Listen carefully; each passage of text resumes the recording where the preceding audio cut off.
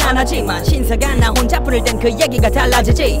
전 세계가 사용하는 영어는 우리의 국어고 종주국의 축구 실력은 딴 데서는 아마 구경도 못 해봤을 거야. 우리가 하는 동네 축구만 해도 전 세계 축구 팬들이 주목하지 한번 랩을 할 때 우리는 그냥 정장만 입고 나와도 될걸. manners maketh man 알아들었지?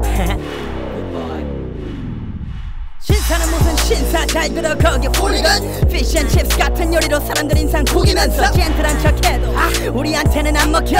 듣자 하니 너네는 신발도 튀겨 먹는다면서 우린 맥주 마실 때도 우승컵 아니면 안 마셔. 월드컵이 바로 그 증거지. 너네도 봤잖아. 작별 인사는 초 대신에 짧은 가사로 신사들 콧대를 베를린 장벽처럼 부숴줄게.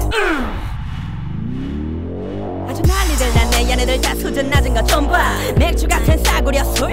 우리는 몰라 고급진 와인과 패션의 나라. 다 눈 돌아가지. 예술가들 하면 떠오르는 곳은 당연히 파리. 노래 오늘 말해 문학의 생텍쥐페리. 덕분에 어린 왕자도 분명 프랑스 말을 할 줄 알 테리 무식한 놈들 틈에 나 혼자 부르주아니까 상대할 맛이 안 나네. 아 됐거나 간다 임마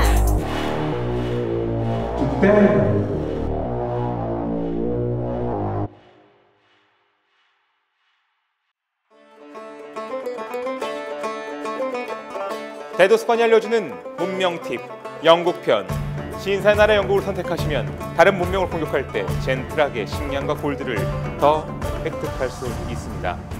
굳이 제 손에 피를 묻힐 필요가 있나요? 대도서관이 알려주는 문명 팁 독일편 독일을 선택하면 전투 시 타겟 설정 cool time이 감소하여 보다 전략적인 전투가 가능합니다 메르세데스 베베 짱 대도서관이 알려주는 문명 팁 프랑스편.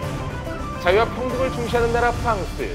프랑스를 선택하면 병력 훈련 시간 감소와 길드원에게 지원받는 병력 수가 증가합니다. 와인 너무 맛있죠? 목마르다. 놀러 놀러 오세요